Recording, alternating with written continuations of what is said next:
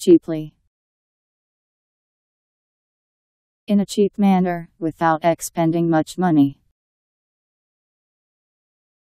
C H E A P L Y cheaply.